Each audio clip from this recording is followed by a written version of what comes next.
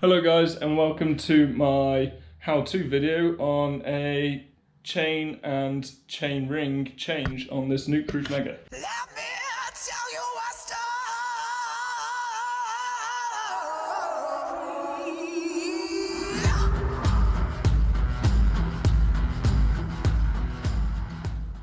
It is a 1x12 SRAM with a dub bottom bottom bracket and we're going to be putting on this Unite Co chainring and this SRAM GX chain. Right, first of all I need to remove the chain guard and take the chain off. To remove the front face of the chain guard we're just going to undo this little bolt here. Undo that. Flip that over like that. Do it back up just take it off completely.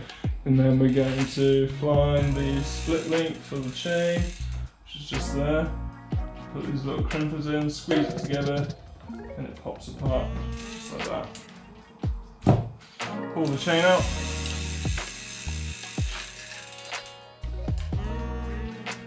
And keep that side for afterwards. Because this is a SRAM chain set and uh, crank arms, they have this little tensioning, like washer kind of screw here, um, and it's got a little two mil bolt on there. So what you have to do, you have to undo that and then back it right back to the crank arm. Just gonna put the key in there, undo that, just very slightly, doesn't take much, and then unscrew it, loosen it right off all the way to the back of the crank arm. Doesn't take a lot, and then that relieves the tension in the bottom bracket to take it off. Next step is to undo this bolt here. It's an 8mm Allen key. Don't take off this front washer here, it can stay in. Um, I've seen a lot of people taking off that front washer, taking out that Allen key and wondering why they can't pull their um, drive side off. Um, basically this little washer on here um, when you undo your Allen key from inside, it pulls it away from your bottom bracket. Right guys, it can be quite tight if you've never done it before, so put it in there. And if you can't get it off, if it's too tight, put the bike on the floor, get someone to help you and just give a really good wrench. Um, I actually pre-loosen this one just because I know they can be very tight, so um, I may make it look a bit easy. Um, maybe not. And make sure you do it the right way around and just give it a good tug and there you go. It comes right off and then you've got to go all the way until it comes off and it will come off.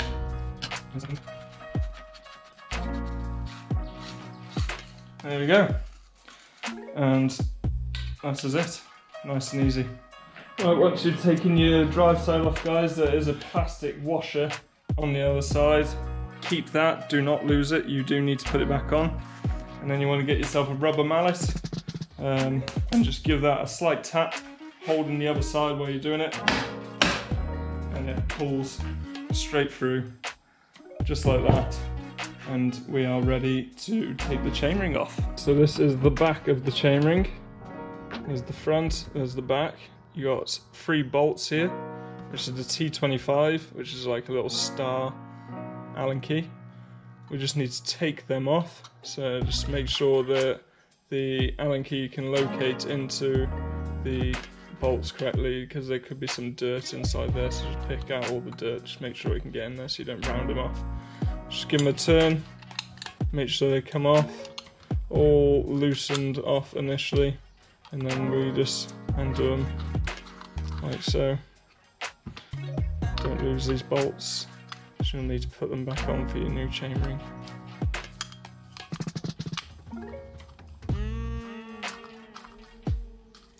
They can be a little bit tight sometimes guys, they might have seized in. So just be patient if they are. If you struggle, take it to your nearest bike shop. And there you go. That should just lift off, like so. You can either keep that for memories or chuck it in the bin. Uh, but we do need this. We're going to clean this up first.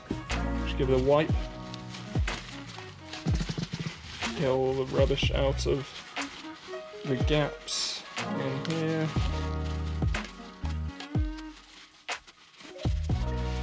Doesn't have to be perfect, but it's always nice to have a nice clean part to put your new part on. Here's my new chainring from Unite Co. Brilliant part, really well made, solid piece. And it's just gonna slot in. You locate the bolts, slot it in just like that. There you go, hold it in place. A little bit of grease on the end of your bolts. Put them in there so they don't seize up for next time. Lightly tighten them until you put all three in.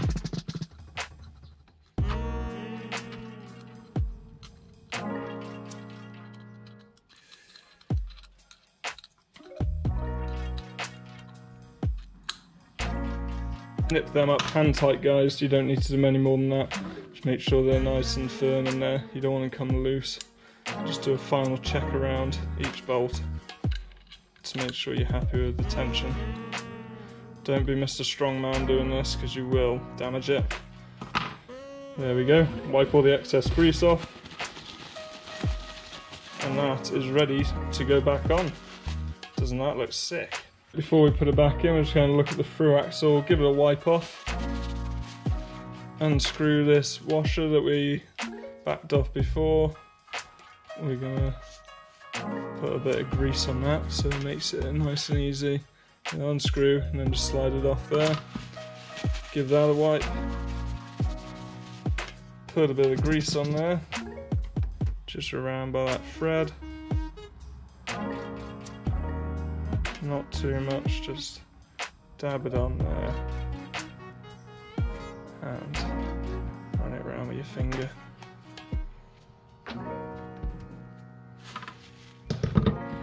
Just give it a little washer a clean off and stick that back on. Screw it all the way to the crank arm. And that goes on much easier. And then we'll stick it back on the bike. We want to put a bit of grease around here as well, guys, actually. Just put it on the end here where your bearings are going to sit, and on the end there, on there, and inside the thread of this side here. Same on there. Bit of grease inside here. Goes a long way. Before we put it all back together, guys, just give the bottom bracket a clean out, bit of a wipe check the bearings, make sure they're nice and smooth. They're free rolling, you don't need to replace them either. I do need to replace, just find a video or I can make another video once I need to replace mine. Good clean up there. There we go, put it in here, all greased up, slide it in, give it a bang, and that will locate itself right there. Now we'll go around to the other side. You want to get this washer, put that back on. Don't forget that. There is a certain way it needs to go on. There's like a little curve on the edge of it. Make sure that bit goes to the bearing. That pushes in there. I'm going to put this back on now. 8mm hex put it obviously opposite to the crank on the other side. Just push it against there. It's not going to slide on until you start to screw this in here. It's probably a bit of a two-man job, but it's nice and easy on your own. If you can't do it on your own, obviously get someone else to help you. Nice and tight. That's actually meant to be to 50 newton meters. I don't have a torque wrench that goes to 50 newton meters, so I'm just going to do it by hand. Really, you should be using a torque wrench, but just give it a good pull, and that's not going anywhere. Alright, back around to this side, guys, with this little tension washer.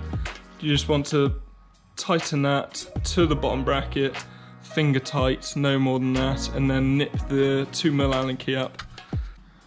Just find the end there, just give it a turn until it comes tight. Just make sure it's nice and firm in its place, and get the 2 mil Allen key. Find the bolt and just nip it up. Don't do this too tight because that washer is plastic so you can easily thread them threads inside that washer. You don't want to be doing that. Right guys, here I got my like new chain and my old chain. I've lined them up right next to each other, link for link. As you can see, the new chain is longer than the old one. There's a bit of a shadow there, so the light's above me. So you want to shorten that chain to the exact same length as your old chain so it fits on there nicely. Got my chain delinker here.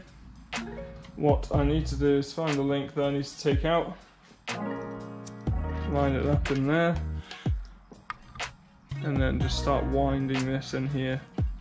And you'll hear a little crack like that. And push the pin all the way through to the end so it comes out. You don't need to keep that pin so don't worry if it falls out and falls on the floor somewhere. You just pull that apart. And there you go, ready to go on the bike. Put the chain back on then guys, um, just pull down your rear derailleur, push and lock so it stays down here. Thread it through the frame, onto the chain ring, force it on there, there we go. Get it on them teeth, get it sitting on them, nice, like that. Thread it through the derailleur, onto the cog, through the back of the derailleur. Get the two split links, one either side of the chain, push it together like that so they click in pull it tight a little bit it won't lock in just yet because you want to get the chain the split link up to this side so you can pull a bit of tension on it and it will click in just going to release the derailleur get the split link around to this side here put your pedal up there give it a give it a whack and that locks it in place nicely and there we go. One chain fitted. Just gonna put the chain guard back together. Come around this side. Undo that bolt again. Swing it around. Push it together. And tighten it back up. There we go. That is one chainring and chain fitted to a SRAM 12 speed Nukeproof Mega. Thank you guys for watching this video. I hope it was a helpful video. It's my first one, so was okay, I hope. anyway, see you soon. Keep it pinned.